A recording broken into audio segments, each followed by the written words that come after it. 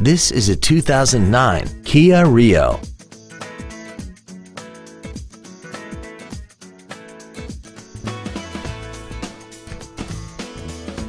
Its top features include a rear window defroster, commercial-free satellite radio, 12-volt power outlets, tinted glass, rear impact crumple zones, side impact airbags, rear seat child-proof door locks, and this vehicle has less than 42,000 miles.